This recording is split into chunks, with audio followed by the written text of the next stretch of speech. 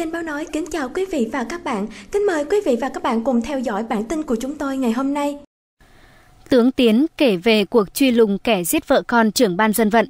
Xác nhận với phóng viên vào sáng 26 tháng 10, Thiếu tướng Hồ Sĩ Tiến, Cục trưởng Cục Cảnh sát Hình sự Bộ Công an xác nhận đến hiện tại, cơ quan điều tra mới chỉ bắt giữ và xác định một mình nghi can chính là Châu Minh Nhân, trước đó gọi là Khôi, 20 tuổi, quê Vĩnh Long, là hung thủ sát hại bà Phạm Thúy Nga và Bùi Phạm Đức Toàn, là vợ con của ông Bùi Xuân Thường.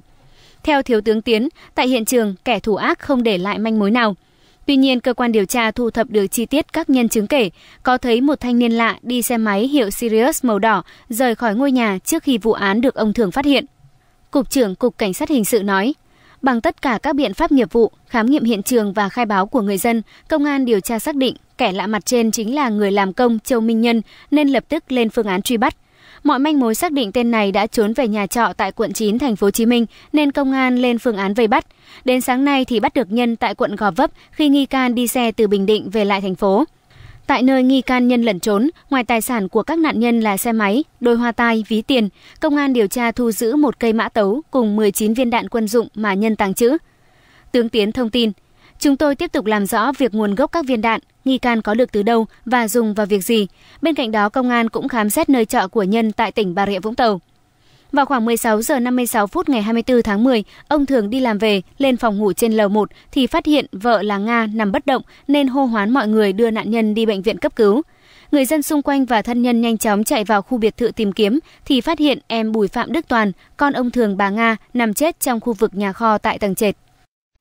Hành trình trốn chạy của kẻ giết vợ con trưởng ban dân vận huyện. Sáng 26 tháng 10, nghi phạm gây giết vợ và con ông Bùi Xuân Thường, 53 tuổi, trưởng ban dân vận huyện ủy Châu Đức, tỉnh Bà Rịa Vũng Tàu đã được di lý từ thành phố Hồ Chí Minh về công an tỉnh này để điều tra. Theo Thiếu tướng Hồ Sĩ Tiến, Cục trưởng Cục Cảnh sát Hình sự Bộ Công an, bước đầu Châu Minh Nhân, trước đó gọi là Khôi, 20 tuổi, quê ở Vĩnh Long, đã khai nhận hành vi phạm tội. Nhân nói rằng anh đột nhập vào nhà ông Thường chiều 24 tháng 10 để trộm tài sản nhưng bị Bùi Phạm Đức Toàn, 18 tuổi, con trai ông Thường phát hiện. Tên tội phạm đã dùng tuyếp sắt đánh vào đầu Toàn khiến nạn nhân gục tại chỗ. Nghĩ con chủ nhà chưa chết, anh ta dùng dây trói tay chân rồi đưa Toàn đến góc nhà kho sau đó chùm chăn lên đầu. Nhân quay lên nhà lục lọi tài sản nhưng bị bà Phạm Thúy Nga, 49 tuổi, vợ ông Thường đi chợ về bắt gặp. Khi bà này truy hô, Nhân quay ra bóp cổ khiến vợ chủ nhà tử vong. Sau khi giết người, thanh niên lột khuyên tai, nhẫn vàng, lấy ví tiền của bà Nga cùng các tài sản khác như điện thoại, xe máy rồi trốn khỏi hiện trường. Nghi phạm chạy về thành phố Hồ Chí Minh lẩn trốn, nghe ngóng thông tin.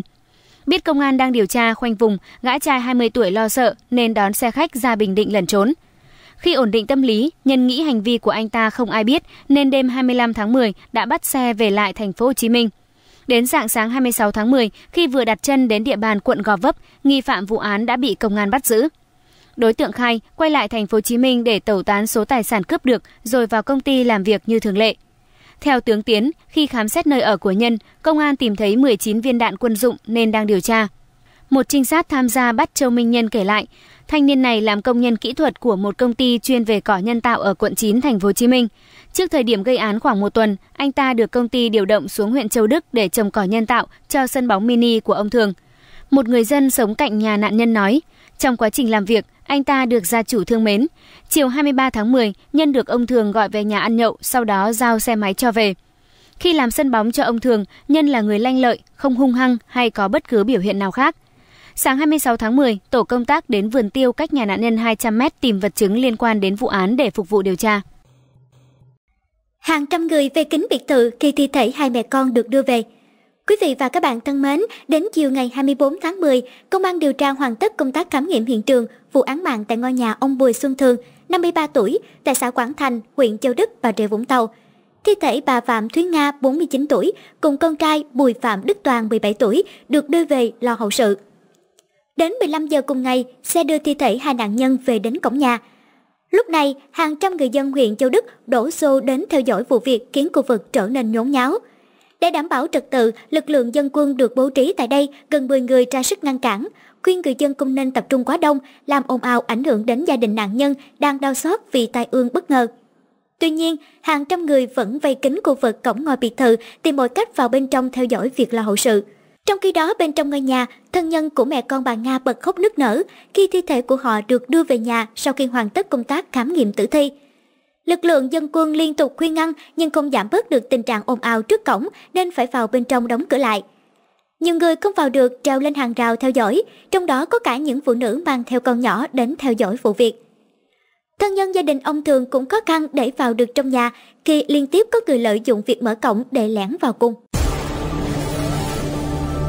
Quý vị và các bạn đang nghe Radio Net News với 5 kênh chính. Đó là kênh thời sự với những tin nóng chọn lọc cập nhật liên tục. Kênh 2 ngập tràn những tiểu phẩm cười sáng khoái và những bản tin giúp bạn xả stress. Kênh tâm sự với những nỗi niềm, những góc khuất trong mỗi người cần được sẻ chia, thấu hiểu. Kênh nghe truyện với đủ loại truyện hấp dẫn. Đặc biệt là kênh vi diệu với những trắc nghiệm, dự đoán, giải đáp về tử vi tướng số, vận hạn, tình duyên, Chiêm tinh gia cũng sẽ tư vấn, giải đáp gỡ rối tơ lòng và đưa ra lời khuyên giúp bạn khám phá chính bản thân mình và hiểu hơn về người mà bạn đang quan tâm. Radio Net News, chạm một ngón tay, tràn đầy tin hay. Vụ hai mẹ con tử vong trong căn biệt thự nghi vấn người đàn ông lạ. Theo báo cáo nhanh của Công an tỉnh Bà Rịa Vũng Tàu vào khoảng 16 giờ 56 phút ngày 24 tháng 10, ông Bùi Xuân Thường, 53 tuổi, trưởng ban dân vận huyện ủy Châu Đức đi làm về đến phòng ngủ trên lầu 1 thì phát hiện vợ là bà Phạm Thúy Nga, 49 tuổi, ngụ xã Quảng Thành nằm bất động nên hô hoán và nhanh chóng đưa đi bệnh viện cấp cứu. Người dân xung quanh và thân nhân nhanh chóng chạy vào khu biệt thự tìm kiếm thì phát hiện em Bùi Phạm Đức Toàn, 17 tuổi, nằm chết trong khu vực nhà kho tại tầng trệt. Người dân chứng kiến kể có thể do cửa nhà kho khép hờ nên ông Thường không thấy con trai nằm tử vong bên trong và đi thẳng lên lầu. Theo khám nghiệm pháp y, phần đầu của Toàn bị nhiều vết thương. Nạn nhân tử vong trong tư thế nằm nghiêng, tay chân bị trói, nền tường gạch xung quanh có nhiều vết máu, còn nạn nhân Nga tử vong do ngạt thở. Theo ghi nhận, căn biệt thự xảy ra vụ việc có diện tích khoảng 1.000 m2, hướng mặt đường liên xã Quảng Thành rộng khoảng 30 m, được xây hàng rào kiên cố, đang được lực lượng an ninh chốt chặn nghiêm ngặt. Chỉ có người thân và một số công an được vào bên trong. Hai bên ngôi nhà là vườn tiêu của gia đình ông Thường rộng nhiều hecta. Theo người dân xung quanh, gia đình ông Thường có nhiều hecta trồng điều, kinh doanh sân bóng mini và dãy phòng trọ cho thuê đối diện. Người dân cho biết do kinh doanh nhiều, gia đình ít người nên ngôi nhà này có rất nhiều người làm thuê và thường xuyên ra vào ngôi nhà. Trong nhà có khoảng 7 con chó khá dữ nên người lạ ít dám tiếp cận. Tôi nhớ ngôi nhà này trước đó có camera nhưng thời gian này không thấy nữa. Về thông tin này, một phó chủ tịch huyện Châu Đức chia sẻ, theo trí nhớ của ông thì ngôi nhà xảy ra án mạng không có trang bị camera. Vị phó chủ tịch cho biết nếu có camera thì vụ việc sẽ dễ dàng hơn nhiều. Anh Thường hiện đã bình tĩnh, sức khỏe ổn định, có mặt trong ngôi nhà phối hợp với công an tỉnh điều tra vụ việc. Lực lượng điều tra cũng tiếp cận nhiều người dân địa phương lấy lời khai. Theo một số nhân chứng trước thời điểm xảy ra vụ việc, có thấy một người đàn ông lạ mặt đi xe máy hiệu Sirius màu đỏ, người khá to con từ căn biệt thự chạy ra. Khi đến đường, người này rẽ chạy hướng tay phải một đoạn, rồi sau đó quay ngược lại và đi mất. Nhân chứng này cho biết sau khi người này đi mất thì có một phụ nữ đi vào rồi quay ra. Một lúc sau thì ông Thường đi làm về phát hiện vụ việc rồi hô hoán người dân. Bí mật động trời của cặp vợ chồng, vợ muốn gì có nấy. Mãn hạn 4 năm tù giam về tội cướp tài sản trở về địa phương, Nguyễn Lâm sinh năm 1994, chú thôn Phú Trung, xã Đại Hiệp, huyện Đại Lộc, tỉnh Quảng Nam, ra Đà Nẵng mưu sinh bằng nghề dọn dẹp, lau chùi nhà thuê. Tại đây, Lâm cùng với chị Vũ Thị Y, chú cùng quê, thuê phòng trọ sống chung và nên duyên vợ chồng. Thấy Lâm cưới vợ, công việc làm ổn định, ai cũng ngỡ anh ta sẽ cải tà quy chính. Nhưng sự thật về cặp vợ chồng này đã nhanh chóng bị lật tẩy. Ở Đà Nẵng, Lâm thuê nhà trọ trên đường Cách mạng tháng 8. Ban ngày làm công việc dọn dẹp nhà cửa thuê, tối đến chỗ nghề tay trái trộm cắp tài sản.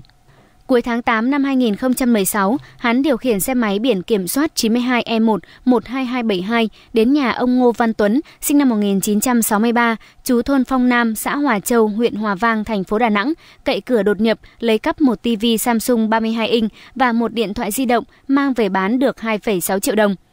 Cũng trong thời gian này, Lâm còn đến nhà bà Trần Thị Sáu, sinh năm 1955, chú phường Hòa Thọ Đông, quận Cẩm Lệ, trộm ba con gà và một con vịt mang về phòng trọ.